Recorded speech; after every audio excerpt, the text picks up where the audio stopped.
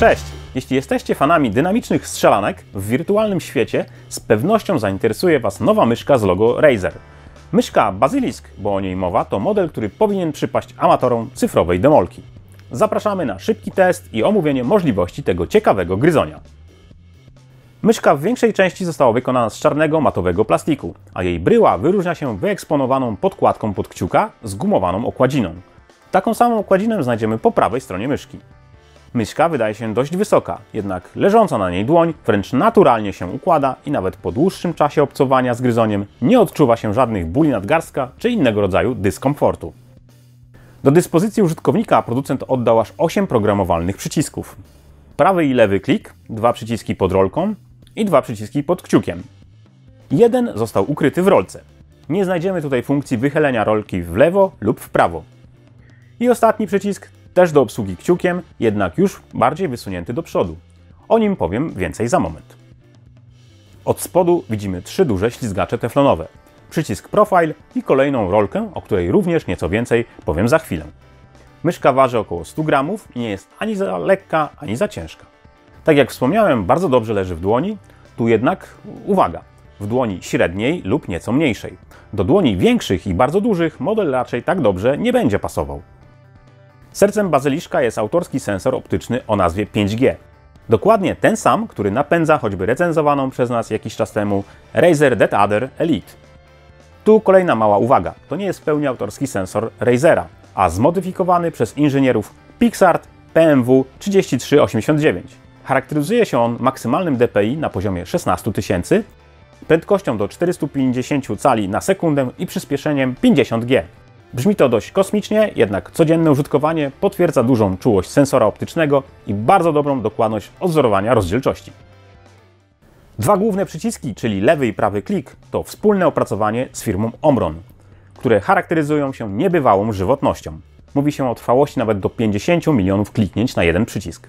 Zajmijmy się teraz dwiema rzeczami, które wyróżniają myszkę Basilisk od konkurencji. Po pierwsze, jeden z przycisków, ten na przód od kciuka, możemy spersonalizować.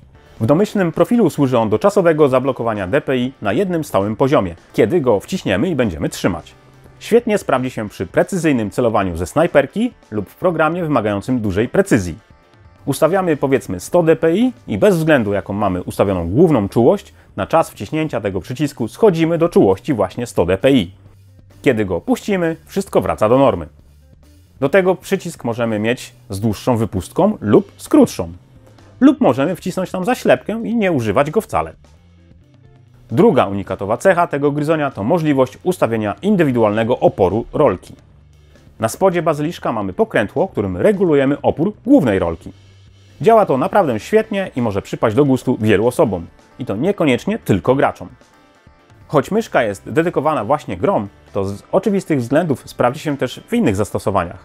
Za sprawą nowego oprogramowania Riser Synapse można przeprogramować praktycznie wszystkie klawisze, stworzyć makra czy zmienić podświetlenie. Można nawet skalibrować myszkę do konkretnej podkładki. To dopiero funkcjonalność. Nowa odsłona softu różni się znacząco od poprzedniej, jednak nadal jest w wersji rozwojowej i może nie zawsze działać idealnie. Jeśli chodzi o granie na bazyliszku, dawno nie miałem takiej frajdy. To, że mysz leży w mojej dłoni wręcz idealnie, było tylko wisienką na torcie. Choć nie należę do wyczynowych graczy, to dość szybko zauważyłem różnicę w precyzji i celności w stosunku do mojego wysłużonego Rokata Kone Pure Optical. Dodatki w postaci personalizacji oporu rolki i przycisk do zamrożenia DPI podniosły tylko walory nowego Razera. Nowa myszka trafiła już do polskich sklepów i może być ciekawym prezentem na Mikołaja lub pod choinkę. Ceny zaczynają się od niecałych 300 zł. Wypatrujcie jednak promocji. Jest duża szansa, że znajdziecie bazyliszka w niższej cenie. Ze swojej strony mogłem tylko polecić ten sprzęt i byłem już naprawdę bliski wymiany mojego Rokata na ten właśnie model. Jeszcze jednak się chwilę wstrzymam, gdyż w kolejce do testów czekają kolejne nowe gryzonie. Dzięki za uwagę, dzisiaj to wszystko, wyglądajcie kolejnych klipów. Cześć!